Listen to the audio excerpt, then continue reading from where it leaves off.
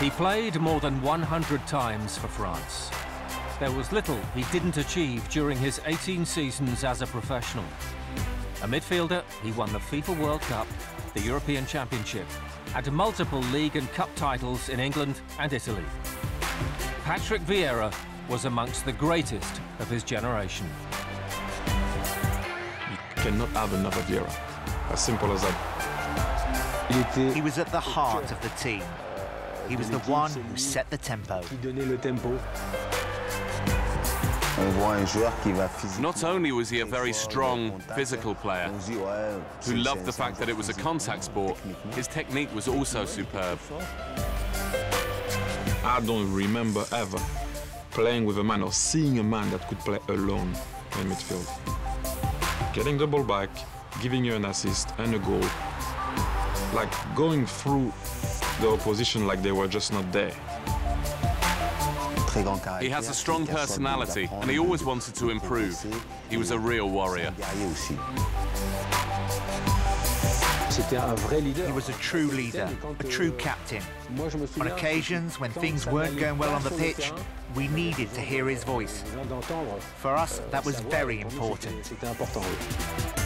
Patrick Vieira was not just an imposing, cultured midfielder, he was a natural leader, captaining both club and country. Most assume management was a natural step after playing. Being a coach wasn't in my mind when I was playing. But uh, when I finished my career in Manchester City, I was surrounded by people who saw something on me that, that I did not know I had it inside me. I found myself really comfortable to be in that decision, and, uh, and this is the reason why um, I completely changed my mind, and, uh, and I really do love it now.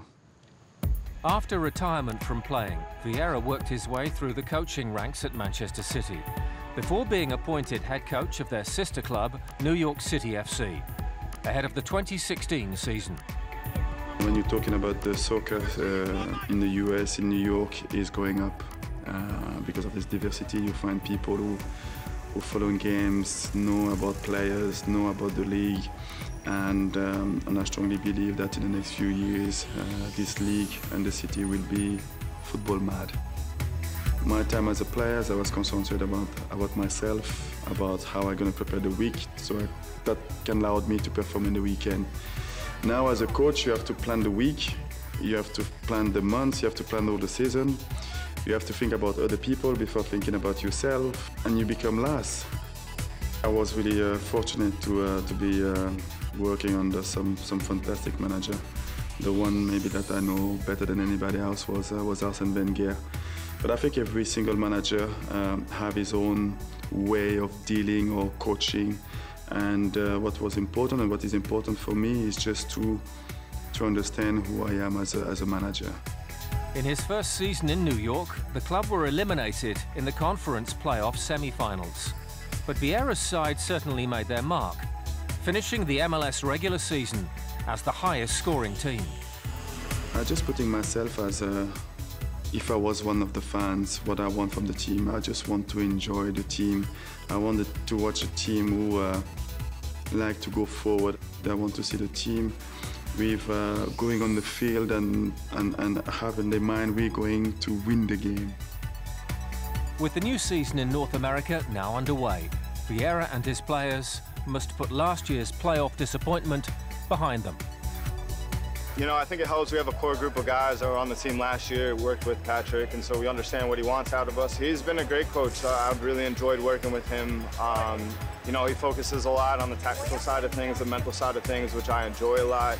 Um, and he gives confidence to all his players, which has helped me and everybody else on the team grow as individuals.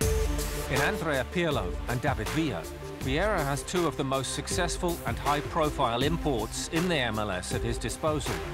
However, he knows developing young players from closer to home is paramount.